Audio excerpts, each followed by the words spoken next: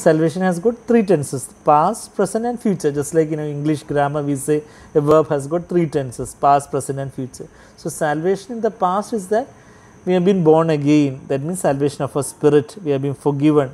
Justification. Uh, we have been saved from the penalty or punishment of sin. That is salvation of the past. And salvation of the future is salvation from the presence of sin. When jesus comes back glorification. So justification there at the end glorification salvation uh, of the body happens there. But in the meantime is a salvation of the uh, soul salvation of the soul. That is the mind emotions and willpower all are being saved. That is a progressive thing.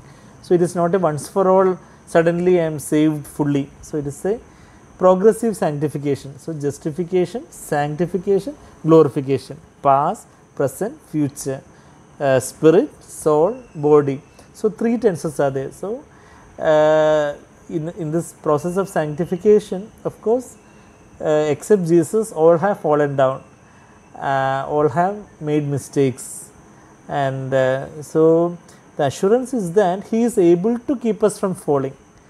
And uh, the for the, to bring us to that level the lord has to take us through empty number of failures and break us and humble us uh, through many adversities and failures and many persons even and to uh, help us to see ourselves as a zero before him continually so that he can continue to shower and flood his grace the power of the holy spirit upon us.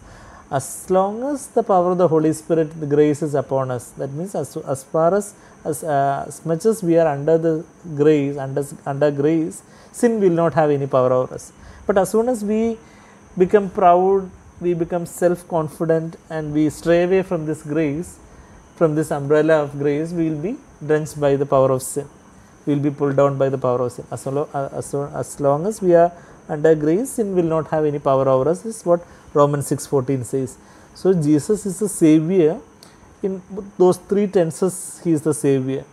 So uh, that sanctification is our struggle but uh, we can we can uh, rest assured that give, he was give us victory but uh, he has not if uh, uh, if he could not give us victory that is because we have not been humble enough. So we need to humble and ask the lord to uh, help to reckon ourselves as dead so that he can live in us. It is not that i become i have victory over sin but rather i die and jesus lives in me and jesus live out, lives out his life through me.